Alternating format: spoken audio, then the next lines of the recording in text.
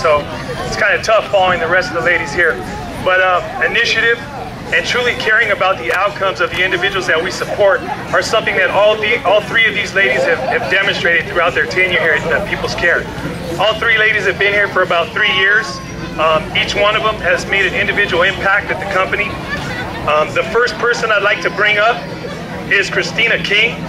So round of applause for Christina King, please. Where you at, Christina?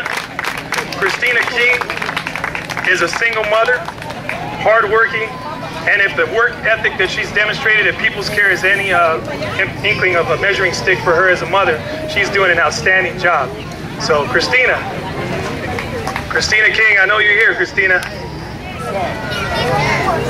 Anyone see her? Christina King. Oh, she left? Oh, she did. I'm sorry. Well, she was here earlier.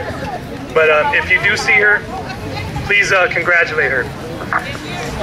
The other individual that I'd like to bring up is the one that we're just speaking to right now is Miss Natalie Reyes, who is also from our SLS department. We also like to congratulate Natalie as she is recently married, so she's joined the club. So thank you, Natalie, for all your hard work and dedication. Very much appreciated.